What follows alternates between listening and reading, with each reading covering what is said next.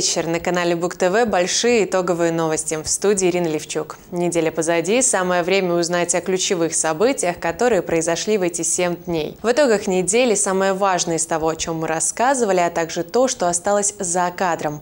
Будем вместе разбираться в этих событиях, чтобы понять, что они значат для нас с вами. Главные темы сегодняшней программы.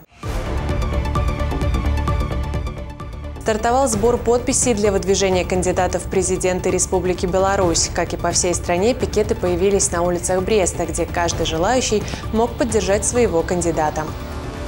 На праздники дарят подарки. В канун 7 ноября ключи от арендных квартир торжественно вручали как в Брестской области, так и в областном центре. В Беларуси сохраняется и продлевается срок действия программы семейного капитала на ближайшие пять лет. О большой поддержке для больших семей – заключительный материал выпуска. Об этом и не только в программе «Итоги недели» на канале Бук ТВ. Выборы президента Республики Беларусь состоятся 26 января 2025 года. И, как известно, одним из основных этапов проведения стартовавшей избирательной кампании является сбор подписей для выдвижения кандидатов в президенты Беларуси. Представители Центральной избирательной комиссии уже зарегистрировали семь инициативных групп по выдвижению в кандидаты на пост главы государства. А потому недавно стартовал и сбор подписей для выдвижения кандидатов в президенты Республики Беларусь. Как и по всей стране, пикеты появились на улицах Бреста, где каждый желающий мог поддержать своего кандидата. Наши корреспонденты побывали на нескольких городских локациях и узнали обо всем подробнее. Инициативные группы по сбору подписей в поддержку выдвижения кандидатов в президенты Республики Беларусь в первый день нового этапа электоральной кампании организовали пикеты в разных локациях областного центра. Один из таких расположился возле центрального рынка, одного из самых оживленных мест. Сегодня у нас старт даже праздничный день, 7 ноября. Вот все э, члены инициативных групп вот, сегодня вышли, ну, часть их, вышли на пикеты по городу Бреста. Вот по городу Бреста у нас более, э, я так говорю, что более 10 пикетов у нас, поэтому, невзирая на такую, ну, морозную погоду, вот, люди активно участвуют в сборе подписей. Вот, на таких более на таких активных участках многолюдных. Вот, люди идут, люди идут, подписываются, ставят свои подписи, поэтому старт, я думаю, что в Брестской области хороший. Сбор подписей вели члены инициативной группы одного из потенциальных кандидатов в президенты.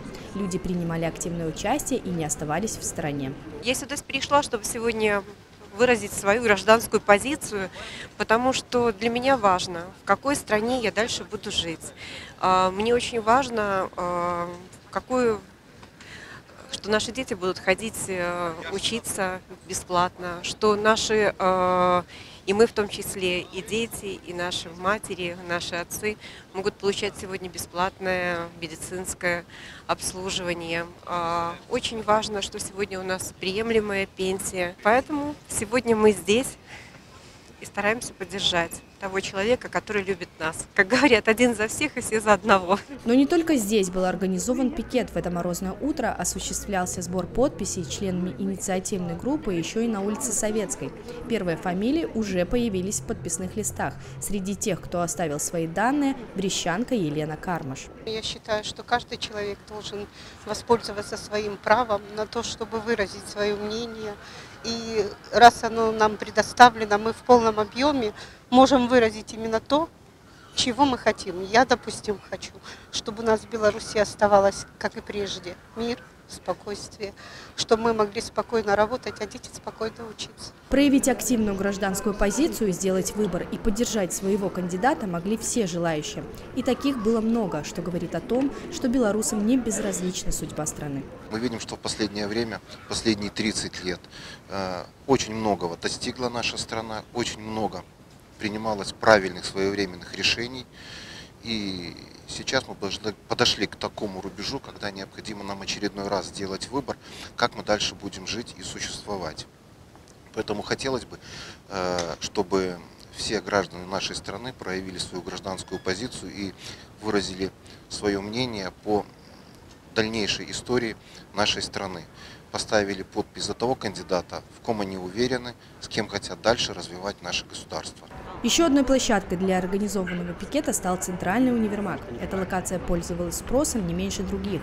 Люди подходили, интересовались, подписывались. Молодежь становится все более активной в политической жизни и готовностью участвовать в выборах. Молодые люди, члены инициативной группы понимают, что голосование – это наше право и обязанности, и мы хотим участвовать в политической жизни страны и влиять на ее будущее. Считаю, что очень э, важно участвовать в выборах, проявлять активную гражданскую позицию, потому что мы сами выбираем то место, в котором нам жить и э, каким оно будет. И важно прививать это и подрастающему поколению, тоже показывать собственным примером э, свой выбор. И я выбираю Александра Григорьевича Лукашенко.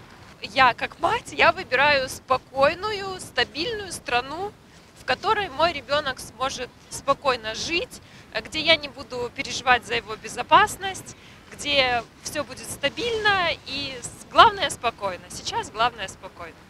Одной из многочисленных площадок для сбора подписей кандидатов в президенты стал торгово-развлекательный центр «Экватор». Окруженные житейскими заботами и детьми, жители Бреста активно проявляли свою гражданскую позицию, не упуская возможность повлиять на политическую жизнь родного государства. Сейчас идет активная фаза сбора подписей за кандидатов в президенты. Это очень важный шаг. Мы выбираем, за кого мы в дальнейшем будем голосовать, кто проходит, у кого э, на данном этапе более, можно сказать, правильная позиция. Да? Каждый человек для себя ее выбирает. Будние дни у нас с 16.30 до 18.30 можно поставить свои подписи. В выходные дни с 12 до 15 часов. Одной из первых оставить свою подпись поспешила Светлана Шукайла, директор торгово-развлекательного центра «Экватор».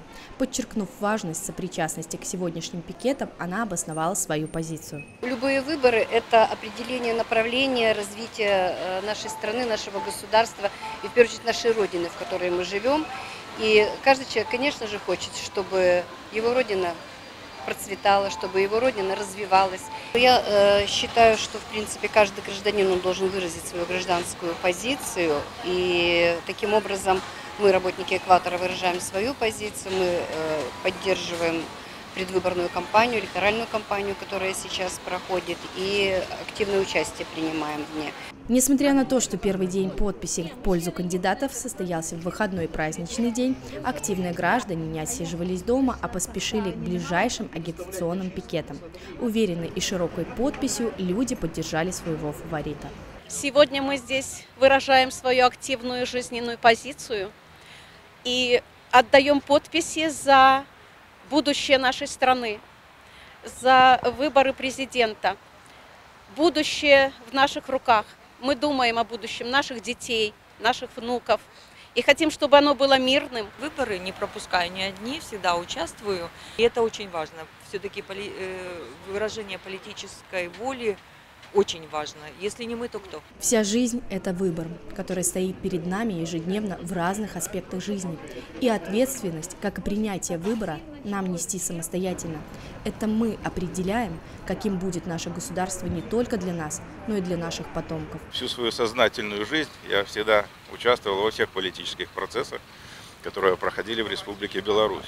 Потому что я оптимист, и я считаю, что мы можем изменить мир к лучшему. Уровень развитие общества такой, что только соседи нам могут позавидовать. Поэтому я пришел с той целью, чтобы сохранить то, что есть, чтобы дети и мы тоже жили под мирным небом, чтобы общество было единым, дружным, чтобы внешняя политика государства нашего была миролюбивой. Каждый человек мечтает прожить жизнь, окружая себя счастьем, благополучием и любовью. И все, о чем мы мечтаем сегодня, легко может стать нашим будущим уже завтра.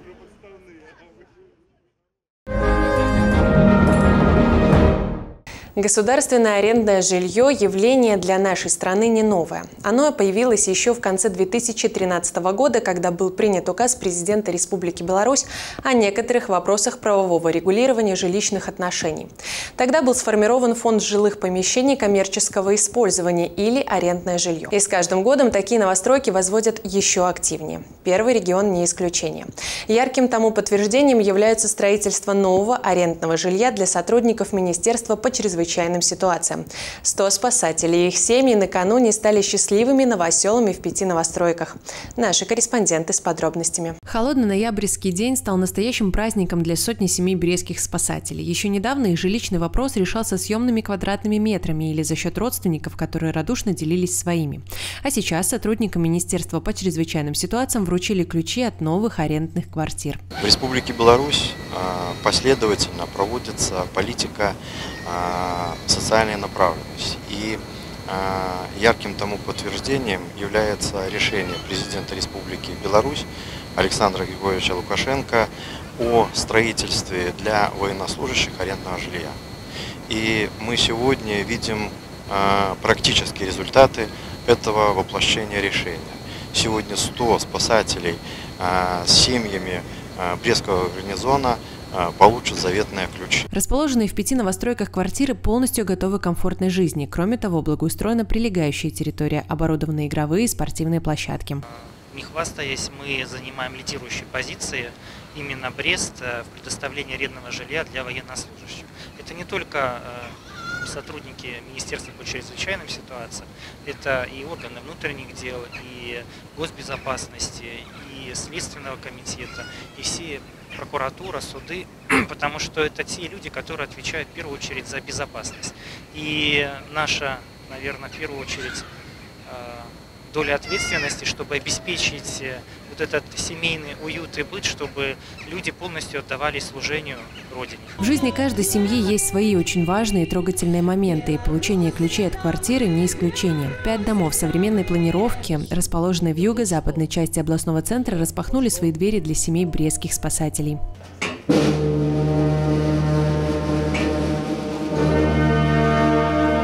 Среди сотни счастливчиков, получивших новые ключи, а вместе с ними и заветные квадратные метры, многодетная семья Авдеичек Дмитрий и Ольга воспитывают трех сыновей. В Брест они переехали несколько месяцев назад. Все это время снимали двухкомнатную квартиру, а потому получить свое жилье для них было очень важным и радостным событием. Сегодня в торжественной обстановке мы получили свою квартиру, долго ждали этого, шли, конечно, к этому. Тоже огромное спасибо нашему государству э, за то, что оказывает нам такую поддержку. Министерство по чрезвычайным ситуациям, в частности, Брестскому областному управлению. Э, до этого жили на э, съемном жилье, конечно, много финансов уходило на оплату всех вытекающих последствий. Да.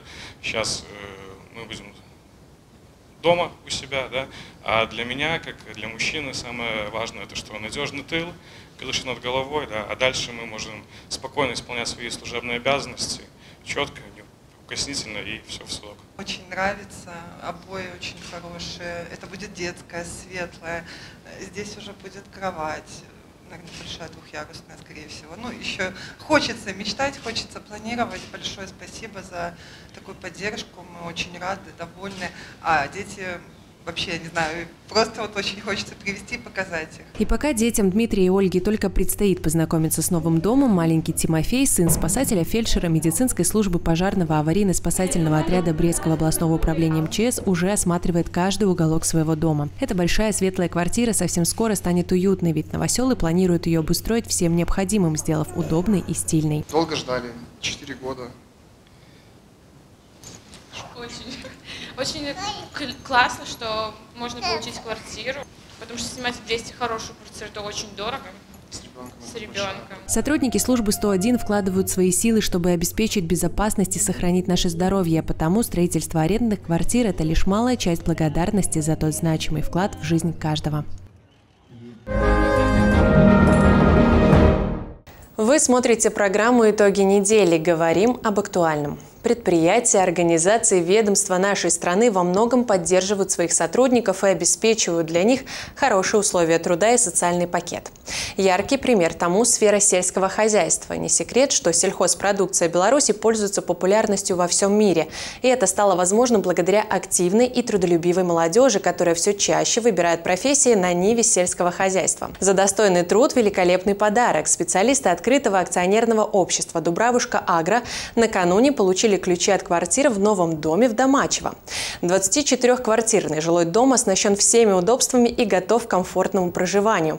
Наши корреспонденты побывали на торжественном мероприятии и готовы рассказать обо всем подробнее. Только что появившийся 24-квартирный дом в городском поселке Домачево распахнул свои двери для работников агропромышленного комплекса «Дубравушка-Агро», нуждающихся в новых квадратных метрах.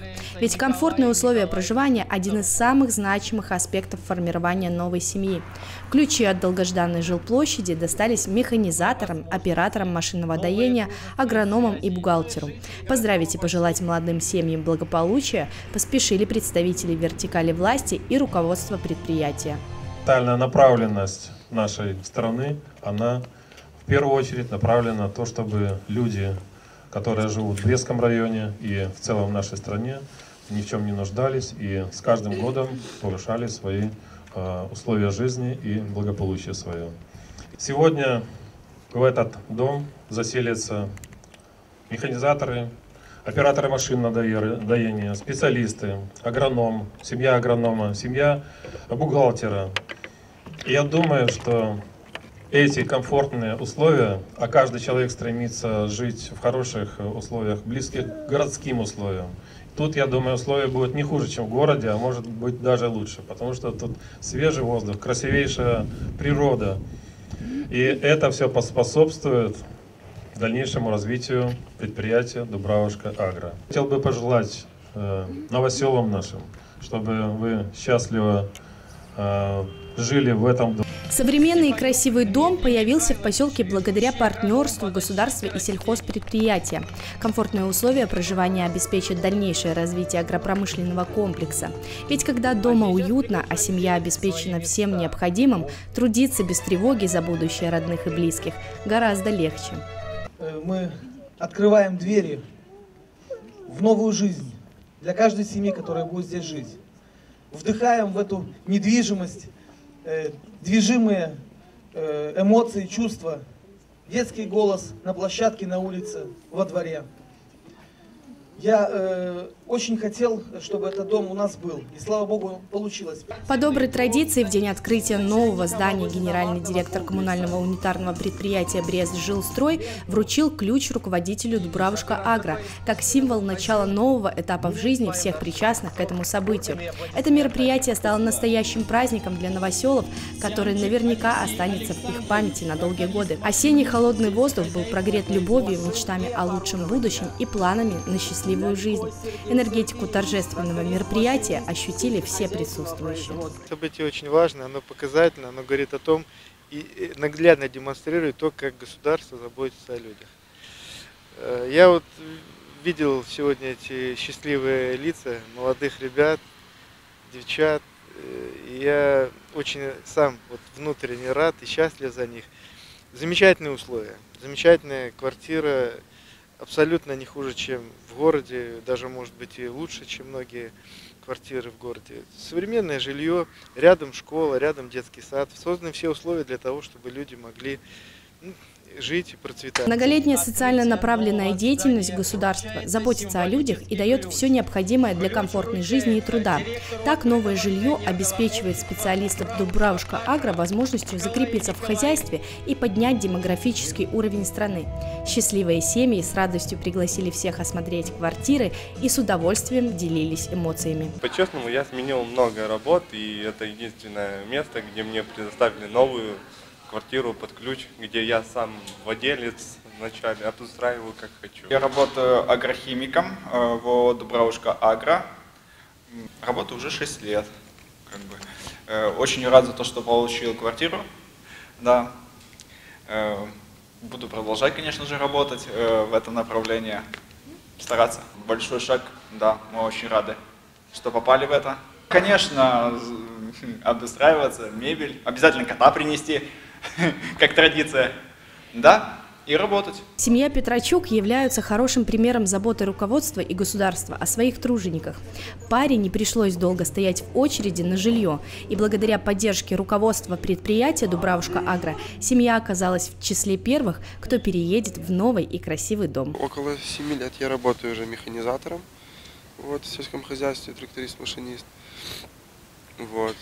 Ну, на очереди состою я ну, чуть больше года. Регион под номером один совершенствуется, расширяется и занимает лидирующие позиции благодаря тем, кто самоотверженно трудится. А потому забота о молодых семьях и помощь с их жилищным вопросом – это лишь малая часть той благодарности за их усердный труд. Янина Даниленко, Дмитрий Литвинюк, Олеся Столярчук. Новости Бреста. Продолжаем программу «Итоги недели». Накануне председатель Конституционного суда Республики Беларусь Петр Петрович Миклашевич проводил выездной личный прием граждан и представителей юридических лиц в Брестском городском исполнительном комитете. Жители города обращались с вопросами разного характера и на все смогли получить компетентные ответы. В Конституции Республики Беларусь закреплено, что человек, его права и свободы и гарантия их реализации – является высшей ценностью и целью общества и государства.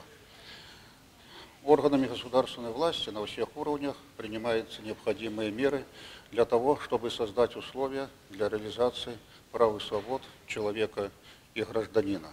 И, соответственно, сегодня я убедился, что Брестский городской исполнительный комитет принимает необходимые меры чтобы решались социальные проблемы, вопросы граждан и граждан по вопросам социального характера на приеме не было. Это свидетельство о том, что организована надлежащая работа с гражданами и оперативно решаются вопросы повседневной жизнедеятельности граждан, которые проживают в прекрасном городе Бресте.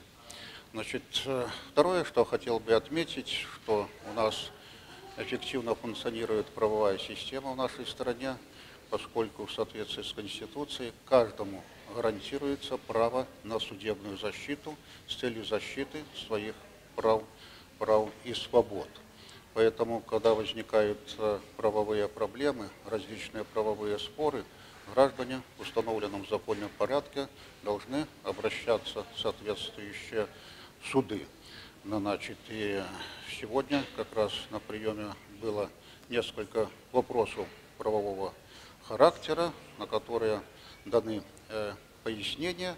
Помимо этого, Петр Миклашевич напомнил о том, что с 1 октября 2023 года вступила в действие новая редакция закона о конституционном судопроизводстве, где регламентируется порядок рассмотрения обращений граждан страны непосредственно в Конституционный суд о проверке конституционности закона, примененного в конкретном деле в судах общей юрисдикции. В соответствии с обновленной Конституцией гражданам нашей страны предоставлено право обращаться в Конституционный суд за защитой конституционных прав и свобод граждан в том случае, если при разрешении конкретного дела в судах общей юрисдикции применен закон, который считают они, что он нарушает их конституционные права и свободы граждан. Ну вот в настоящее время уже начали нам поступать такие обращения с выполнением тех условий допустимости, которые определены законом. Вот 31 октября этого года мы уже составом Конституционного суда рассмотрели первое такое обращение гражданина по хозяйственному спору, значит, и пришли к выводу, что при соблюдении всех формально-юридических условий допустимости, но по существу не было соблюдено условие допустимости, поскольку мы не усмотрели, что этой нормы закона, хозяйственного процессуального закона, нарушены его конституционные права и свободы. Поэтому возбуждение такого дела было отказано. Как отметил Петр Миклашевич, ожидается, что в ближайшее время будут продолжать поступать конституционные жалобы граждан по вышеназванным вопросам. И при наличии признаков нарушения конституционных прав будут вынесены определенные решения. Уже много лет в приоритете у белорусского государства многодетные семьи. Для них предусмотрены льготы, пособия, услуги няни и, самое главное, активно работает программа «Семейный капитал». Последний пункт на слуху у белорусов давно, а именно с 2015 года. Тогда и появилась эта государственная программа. Ее суть заключается в том, что при рождении или усыновлении третьего и последующих малышей родители могут получить от государства материальную помощь. В Беларуси продлевается срок действия программы семейного капитала, а значит, значит, такая форма государственной поддержки сохраняется на ближайшие пять лет.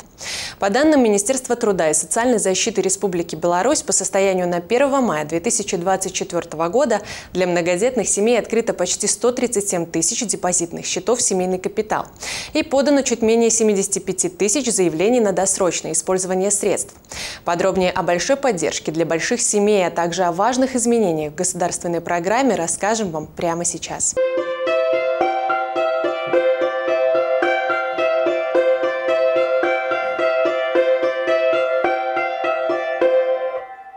Знакомьтесь, это талантливая девочка с необычным именем Милица, часть большой и дружной семьи Кричкивских. Помимо музыкальных дарований, родители Наталья и Александр воспитывают и будущих спортивных звезд. Старшая дочь Ульяна успешно занимается тайквондо, младший сын Тимур – хоккеем. И несмотря на такие разные увлечения, семья живет мирно и дружно, ведь в основе всего большая любовь и поддержка друг друга. Как делится глава семьи, без этих компонентов ничего бы не получилось. Я думаю, что больше это сообща Потому что если бы мы друг друга не понимали, как бы, ну, так бы не успевали.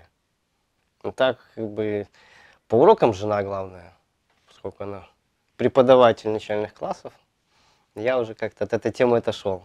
Ну, по меньшей мере, ну, когда у нее нет времени, я сижу с ними, помогаю где-то, рассказываю.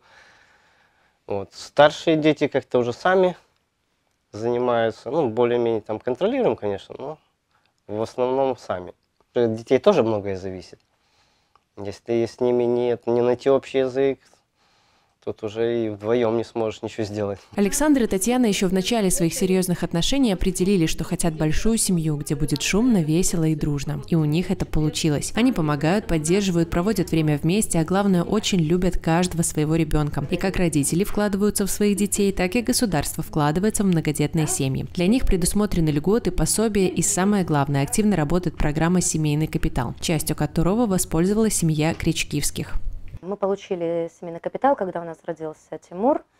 Вот. Эм, тогда еще не было возможности его использовать, но потом получилось так, что когда мы стали на как многодетная семья, а, изменились э, законы, так скажем, правила, и уже этот семейный капитал можно было использовать для строительства жилья. И как раз так получились обстоятельства, что с 1 марта, когда нам подошел срок получать жилье, мы попали под долевое строительство. То есть нам нужно было заплатить 25% стоимости жилья э, государству, скажем так. Вот. Ну, конечно, когда ты мама троих детей, находишься в декрете, папа работающий, кредиты, к сожалению, не, не особо дают, потому что три иждивенца, даже четыре, это очень сложно. Вот. Э, собрать сильно много средств нам также не удалось, потому что, опять же, молодые, все сами начинали. Вот. И как раз эта поддержка, досрочное использование семейного капитала была как нельзя кстати.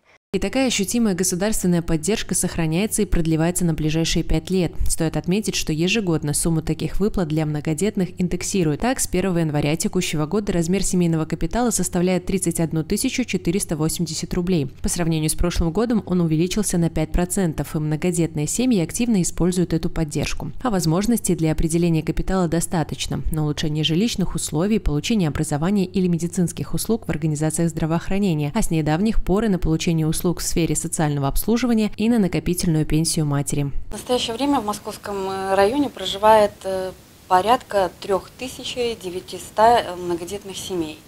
За истекший период времени администрация Московского района приняла решение о назначении семейного капитала 265 семьям. И за тот же период времени э, обратились за распоряжением, э, досрочным распоряжением семейного капитала 629 семей.